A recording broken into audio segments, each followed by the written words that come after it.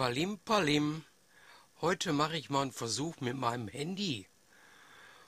Das macht ja so gute Bilder und ich denke mal auch ein gutes Video.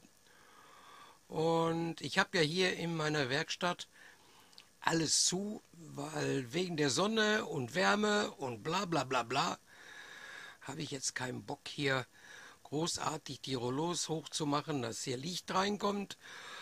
Und Kamera umbauen habe ich auch keinen Bock. Also habe ich gedacht, probierst du mal was mit dem Handy zu machen.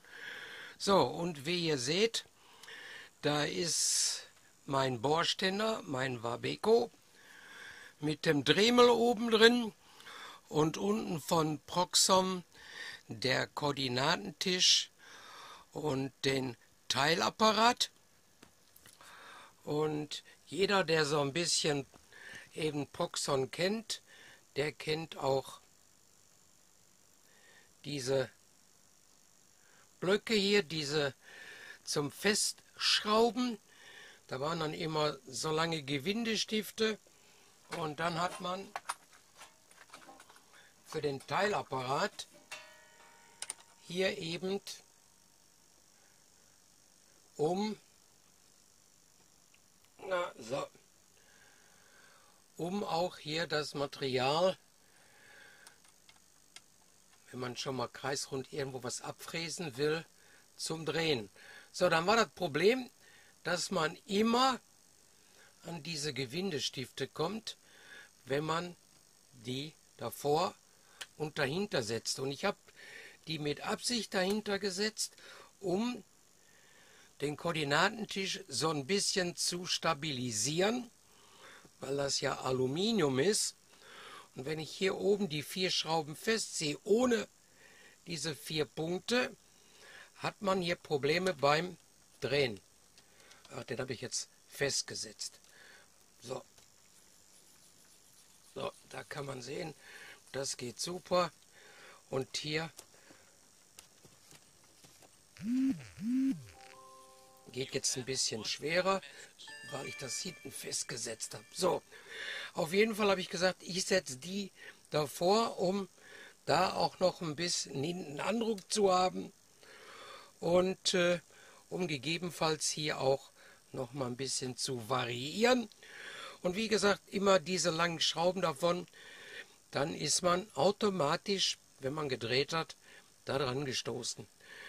Dann war es so, dass man ja immer dann ein Zehner Schlüssel brauchte, um, ups, um, wenn man da dran wollte, um eben die Mutter zu lösen. Und dann bin ich mal ganz schnell im Baumarkt gefitscht und habe hier so eine Rändelmutter geholt. Dann eine 6 mm Gewindestange und habe mir hier die Stifte gesägt, damit ich eben ungehindert hier drehen kann. Ja, sonst hätte man immer ein Stück vor, da reinsetzen, wieder ein Stück vor. Und das war so was von störend und ätzend. Und dann, äh, wenn man auch jetzt umbaut und ich mache hier meinen Schraubstock da drauf, dann auch immer mit dem Zehner Schlüssel Muttern losmachen, rausdrehen. Also irgendwo, der Mensch ist ja auch ein bisschen faul und möchte sich das so bequem wie möglich machen. Und dann habe ich gesagt, ich hole mir die Gewindestangen, ich hole mir die Rändelmutter und dann mache ich das passend. So, das nächste, was mich jetzt ein bisschen stört, also nichts gegen den Dremel, der da drin hängt, aber der Dremel hat, wenn man, also äh, gerade jetzt letztens, wo ich den Flashy Vapor bearbeitet habe, hat man, wenn man hier einen seitlichen Druck ausübt, hat man da einfach zu viel, na, ihr seht das vielleicht, aber das ist ganz ganz schwer zu sehen. Also man hat hier auf jeden Fall zu viel Spiel. Wenn man also mit den Dremel, sag ich mal, Holz bearbeitet, überhaupt kein Problem, das geht super damit. Aber wenn man harte Materialien hat, ja, selbst schon bei Aluminium oder auch bei Kupfer, was weich ist, äh, hat man da ganz schnell ruckzuck Abweichung. Und da habe ich jetzt so ein bisschen im Internet geguckt. Und äh, um da was zu finden, ja, holla die Waldfee, Leute, da braucht ihr Stunden, um da an Erfahrung reicher zu werden. Und am Ende bin ich gelangt bei einer Kress 1050 FME 1 und da liegt so der Preis schwankend zwischen 190 und 219 Euro. Und dann muss man noch die ganzen Spannzangen dafür holen, die man halt so benötigt, was dann 3 mm, 3,175, 6 mm, 6,175 äh, braucht damit man seine Materialien, Fräsen, Schleifer und so weiter da einspannen kann. Ja, und dann ist man ganz, ganz schnell locker bei einem Preis von 250 bis 300 Euro. Und das nur mal eben, um hier ein paar Atomizer zu bearbeiten, ein paar Boxen zu bearbeiten ist das verdammt eine Menge Holz. Und da muss eine alte Frau wie ich lange für stricken, um da dran zu kommen.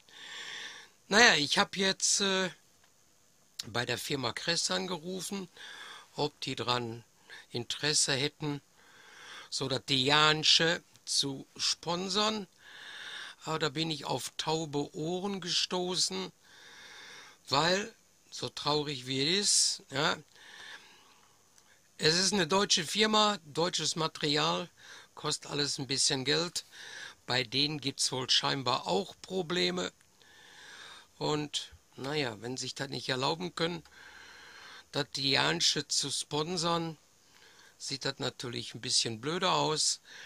Ich habe jetzt Westfalia angeschrieben und äh, mit dem gleichen Thema eben sponsoren und mal schauen, Geantwortet haben sie schon aufgrund des Feiertags und Wochenend, bla bla bla bla. Sie werden sich äh, gegebenenfalls am Montag melden. Ja, ich glaube da wohl gar nicht dran. Aber mal gucken, vielleicht habe ich ja Glück und demnächst da oben hängt eine Kress. Oder auch nicht. Da muss ich mich weiter damit mit, der, mit den Dremel rumärgern. Und dann muss ich sparen, sparen, sparen und nochmal sparen. Aber egal, ich kann damit, mit dem Equipment, was ich jetzt habe, kann ich zumindest für mich schon mal ein bisschen was machen. Ihr habt es ja gesehen an der Dimitri-Box, da hat es super geklappt. Zwar auch mit leichten Problemen, aber es hat mir die Arbeit erleichtert, mit diesem äh, ja, mechanischen Equipment zu arbeiten. Ne? Also ich weiß nicht, wie ihr das seht. Ich weiß nicht, was ihr so alle zum Basteln habt. Ob ihr auch einen Dremel habt oder noch ein besseres Equipment. Ne, wenn ich 30 Jahre jünger wäre, mein Gott, dann würde ich hier einiges rausschmeißen und dann ständ hier eine vernünftige Drehbank. Na, da gibt's, habe ich geguckt, also gebrauchte Maschinen so für 3000 Euro. Da kannst du dir äh, alles bauen, was das Herz begehrt, aber für mich ist da in der Hinrichtung äh, der Zug schon abgefahren. Ne? Das heißt also, das hier ist mein Hobby und kein Beruf.